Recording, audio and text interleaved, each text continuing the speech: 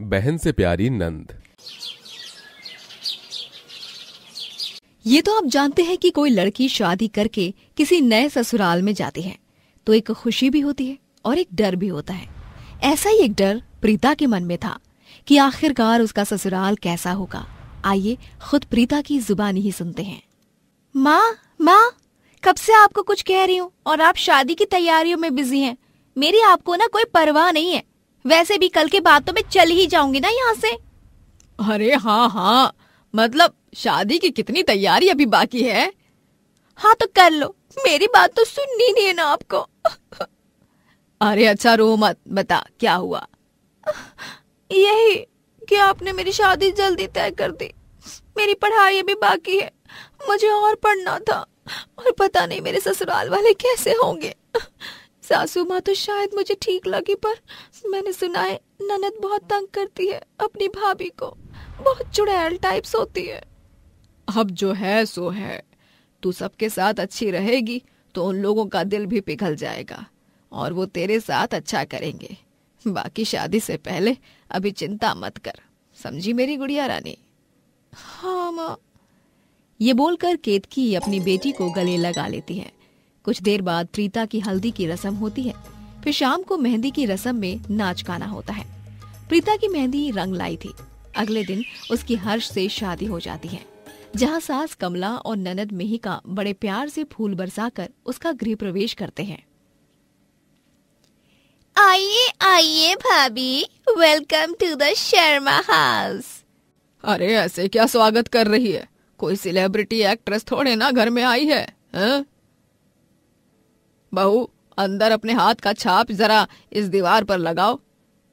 जी माँ जी हे प्रभु माँ जी तो आते ही ताने से बोलने लगी। फिर प्रीता दीवार पर हल्दी की छाप लगाती है। चलो ये रसम भी हुई। अब सुन बहू इस घर के कुछ तौर तरीके हैं जो तुझे निभाने ही हैं। सुबह मेरे बेटे को टाइम पर ब्रेकफास्ट और टिफ़िन चाहिए। आज तक मैंने उसे कभी लेट नहीं होने दिया है तो तुझे भी ऐसा ही करना। तेरे ससुर जी की आँखों के सामने न्यूज़पेपर के साथ चाय पीना बहुत पसंद है तो उसमें भी कोई चूक नहीं होनी चाहिए। और रसोई के काम भी बढ़िया तरीके से करेगी तू। जी माँ जी। माँ आते ही भाभी को काम के नाम से आप डरा रही हो। देखो उनकी आवाज़ कैसे निकली अभी। थोड़ा नरमी से पेश आइए। हाँ कमला मेहका बिटिया बिल्कुल ठीक कह रही है। तुम सब चुप रहो। अगर मैंने अभी से ही ढील दे दी ना तो ये कल को मेरे सर पर ही चढ़कर नाचेगी। हम्म जाओ, अब सब आराम करो, बहुत रात हो गई है। ये सुन सब अपने कमरे में चले जाते हैं। तभी प्रीता हर्ष से कहती है, हर्ष, मुझे डर लग रहा है। अगर मुझसे कोई काम करने में गलती हो गई तो? वो मुझे डांटेंगी। अरे, तुम कैसी बातें कर रही हो? बाय द वे माँ को हर चीज़ परफेक्ट पसंद है। अगर थोड़ा ऊपर नीचे हुआ तो शायद डांट दें। प्रीता माँ दिल की बहुत अच्छी है पर कामों को लेकर थोड़ी सी सख्त है। और तुम्हें कुछ भी चाहिए तो मैं और मेहिका तो है ही। ठीक है हर्ष। दीदी ने मेरी माँ जी के सामने साइड ली। मुझे अच्छा लगा। बहन जैसी लगी बिल्कुल। हाँ तुम्हें ऐसा ही फील करवाएँगी। पता भी नहीं चलेगा कि वो नंद है या तुम्हारी बहन। ये सुन प्रीता थोड़ी बहुत तसल्ली कर लेती है। फिर वो कपड़े चेंज करके सो जाती है। अगले दिन जल्दी उठकर वो डर कर सफ़ाई पाठ पूजा का सारा काम पहली रसोई का खाना बनाती है। फिर ससुर को चाय और अखबार देती है और फिर एकदम से रसोई में सांस के आने पर प्रीता के हाथ से बेलन गिर जाता है। प्रीता बहू? माँ जी आप? ये क्या बहू? तू इतनी छुई मुई है कि मेरी आवाज़ सुनकर डर गई और हाथ से बेलन छूट गया। अब अब अब वो माँ जी अकेले काम कर रही थी सुना तो डर गई। अच्छा क्या बना रही है? आठ बजने में दस मिनट है। हर्ष का ऑफ़िस का टाइम हो रहा है। जल्दी खाना लगा टेबल पर। जी जी माँ जी। ये कहते प्रीता खाना बनाकर डाइनिंग टेबल पर लगा देती है और उसका टिफ़िन भी पैक करके ले आती है। देख लो टेबल पर सब चीज़ बिल्कुल सही से तो है ना? बड़ा प्रेशर सा लग रहा है। ससुराल के पहले दिन ही। अरे इनकी कॉफ़ी बनाई थी लाना भूल गई। जल्दी से ले आती हूँ। हर्ष, आपका टिफ़िन, ये रहा माँ जी पापा जी आप खाना शुरू करिए, मैं आती हूँ। अरे भाभी, आप कहाँ जा रही हो? भाई की कॉफ़ी लाने, मैं ऑलरेडी ले आई। थैंक यू दीदी, आपको कैसे पता? मैं यही लेने जा रही हूँ। आपके चेहरे की घबराहट से ही पहचान लिया तो ले आई। आप चिंता मत कीजिए रिलैक्स होकर काम कीजिए। थैंक यू दीदी, आपके पास होने से लगता है कोई मेरी बहन है जो मेरे साथ है। हम्म अब आप भी खा लीजिए। वाह बहू खाना तो तूने बहुत बढ़िया बनाया है। चल अच्छी बात है। हाँ बहू आपने खाना बनाया है इसलिए तुम्हारा शगुन तो बनता है। ये लो। शुक्रिया पापा जी। शुक्रिया क्या? पैर छू अपने ससुर जी के। ये भी मुझे बताना पड़ेगा क्या? आ, नहीं माँ जी। फिर प्रीता ससुर के पैर छूती है। अरे बहू इसकी कोई ज़रूरत नहीं थी। तुम्हारी सास ज़्यादा ही खड़ूस बनती है। तुम मेरी बेटी जैसी हो। पैर नहीं छुओगी तो भी चलेगा। अच्छा ज़्यादा नहीं बोल रहे तुम। और बहू मेरा ध्यान नहीं गया पर तुझे तो ध्यान होना चाहिए था ना। तेरे सर का पल्ला कहाँ है? ना घूंघट है। मतलब एक एक चीज़ के लिए बोलू मैं तुझे अब? सॉरी माँ जी दोबारा ऐसा नहीं होगा। बस करो माँ भाभी पर कितनी बंदिशें लगाओगी। आज के टाइम में कौन घूंघट करता है? और शक्ल तो सबने देखी है ना। रहने दीजिए। थोड़ा तो उन पर रहम खाओ। कभी काम के लिए कह रहे हो तो कभी कुछ। मुझे लगा था मेरी सास प्यारी होगी और ननद खराब लेकिन यहाँ तो उल्टा ही है। ननद बहुत प्यारी है और सासू माँ थोड़ी खड़ूस हमेशा मेरे खिलाफ बोलती है। तू चुप रह। तुझे समझ नहीं आ रहा। जब तेरी सास तुझसे ये सब करवाएगी ना तब पता चलेगा। प्रीता फ़ौरन घूंघट कर लेती है। हर्ष ऑफ़िस के लिए निकल जाता है। ऐसे ही दिन गुजरते हैं, प्रीता हर काम ठीक से करने लगती है। वहीं उसका हर काम में ननद हमेशा साथ दिया करती थी। साथ कपड़े धुलवाती थी, साथ खाना भी बनवाती थी। ये सब कमला को बिल्कुल पसंद नहीं था। धीरे धीरे ननद भाभी में दो बहनों जैसी बॉन्डिंग हो जाती है। दोनों एक दूसरे के लिए शॉपिंग करती हैं और हँसते हुए घर पर साथ आती हैं।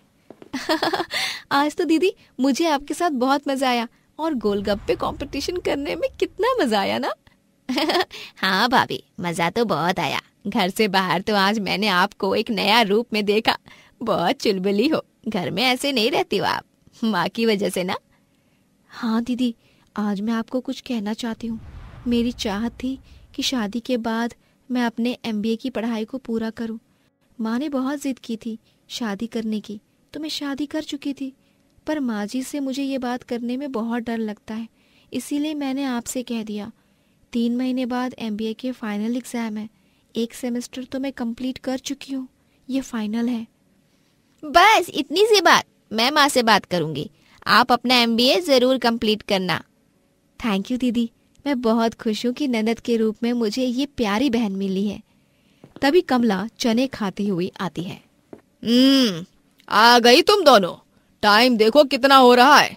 बहू तुझे ये नहीं पता शाम के खाने की तैयारी भी करनी है। शॉपिंग पर जाने क्या दिया? तू तो टाइम लगा कर ही आ गई।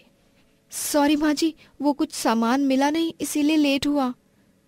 कोई बात नहीं माँ खाने की टेंशन मत लो। मैं भाभी के साथ खाने की तैयारी करवा दूँगी। आधे घंटे में खाना बन जाएगा।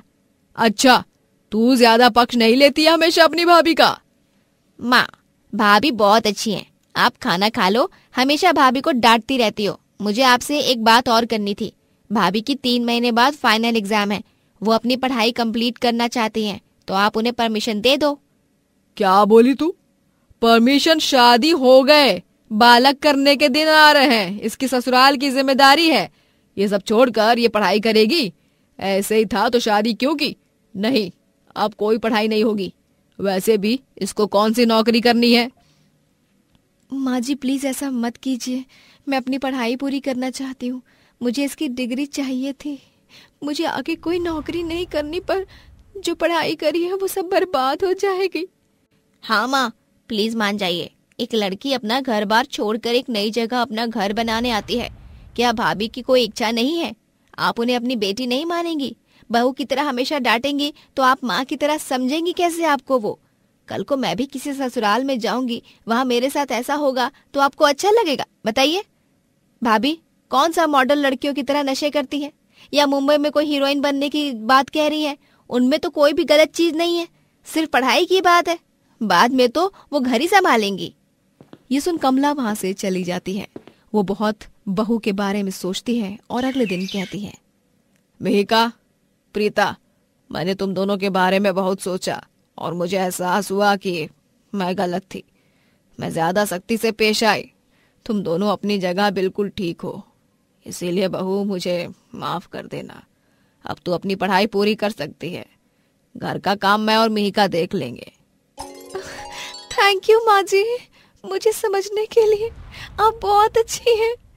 इस तरह सख्त सास का दिल पिघल जाता है और वो अपनी बहू को बेटी की तरह रखती है। आखिर ये सब बहन से प्यारी ननद की वजह से ही संभव हो पाया था। फिर प्रीता अपने पेपर देने के बाद अच्छे से गृहस्थी संभालती है।